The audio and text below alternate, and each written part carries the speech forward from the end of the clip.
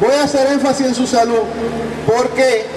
Porque junto con la disciplina que ustedes mencionaban ahorita, junto con el trabajo duro, junto con su talento, junto con usted seguir instrucciones, junto con usted desarrollar su cuerpo, desarrollar su juego, desarrollar su mente y desarrollar su corazón. Hoy, esas cosas son necesarias para firmar con un equipo de grandes ligas. Pero junto con esas cosas hay un otro ingrediente que hace falta. Y eso es, y abran los oídos, eso es estar limpio de sustancias prohibidas. La situación es la siguiente. Es fácil, se preguntaba Feli ahorita, ¿es fácil ser pelotero?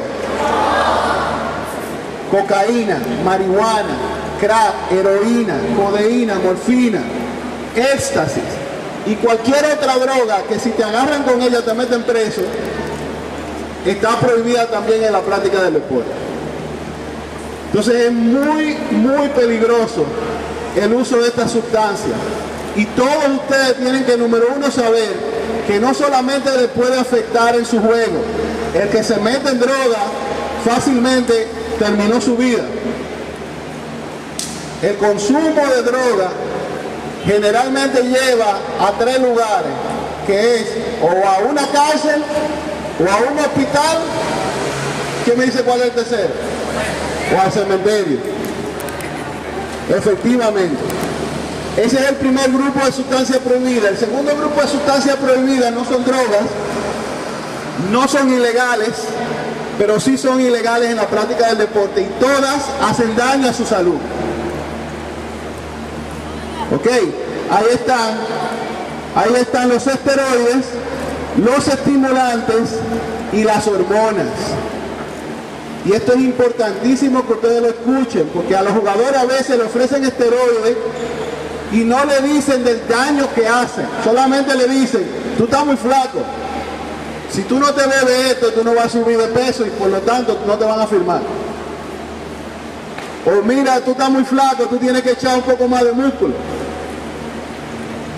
O mira, tómate esto, que tú estás tirando muy, muy, muy flojo. Para que le añada una cuanta milla más a tu picheo, tómate esto. Al final la pregunta. Yo, yo les doy la participación.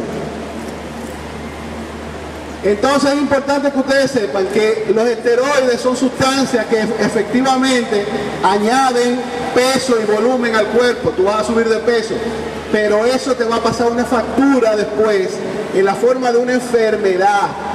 Los esteroides generan serias enfermedades del corazón, de los riñones, del hígado, algunas enfermedades psicológicas y afectan seriamente el aparato sexual reproductivo de los hombres. De manera que no estamos hablando de una aspirina, no estamos hablando de sustancia benigna, estamos hablando de venenos a corto, mediano o largo plazo. Son sustancias con las cuales no se juega.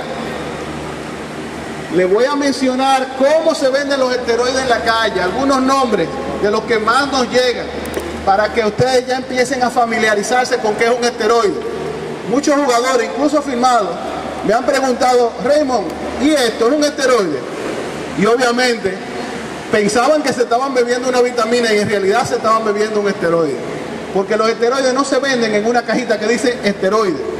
Tienen muchos nombres. Por ponerle algunos ejemplos, está el caballín, el dianabol,